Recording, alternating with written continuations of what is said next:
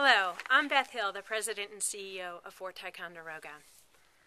Fort Ticonderoga's story is epic, known as the key to the continent in the 18th century and today as America's fort. It is a place where the clash for empire and the struggle for liberty happened.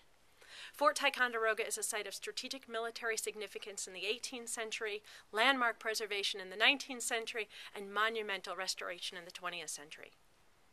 Serving the public since 1909, Fort Ticonderoga is one of America's oldest and most significant historic sites. Today, Fort Ticonderoga is a nonprofit educational organization, a thriving learning campus, a museum, and a cultural destination. Over the past few years, Fort Ticonderoga has launched a new chapter in our epic story. We have redefined what is possible, better utilizing our resources and launching innovative programs that engage everyone from our youngest first time visitors to the internationally acclaimed scholars. We saw remarkable results in 2012 as we began to implement our strategic plan. In contrast to many historic sites across America, Fort Ticonderoga experienced increase in attendance, programs revenue, and Friends memberships.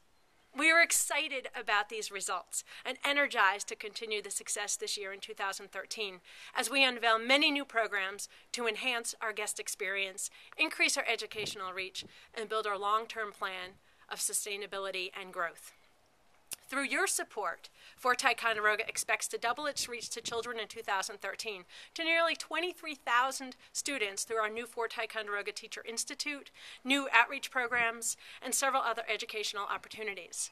Several seminars and scholarly lectures will be presented throughout the year, as, we, as well as hands on family programs geared towards our young visitors and their families. Our rich history will come to life for our guests on a daily basis as we recreate the year 1755 this year, the critical year that the French began construction of Fort Carillon, later named Fort Ticonderoga. Soldiers' life programs, daily tours, and historic trades will be the end result of countless hours of research, planning, and production led by our relentlessly authentic interpretive team. Also, be sure to check our calendar for special events and reenactments this year.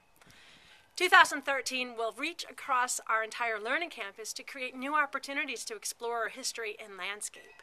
Our new Carillon Battlefield hiking trail and self-guided canoe tour will be the highlight uh, will highlight the fort's rich historic features and incredible natural beauty.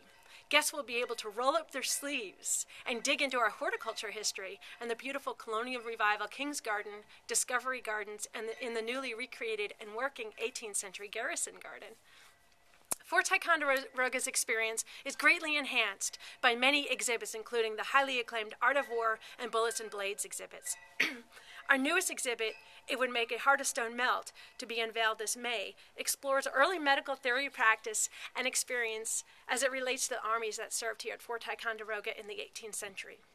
As we continue to successfully implement our goals set forth in our five year strategic plan and continue to develop our vision for Fort Ticonderoga's long term sustainability and growth, the end result of your investment is a dynamic educational experience that reaches new and growing audiences in an active process of understanding our history and informing our future.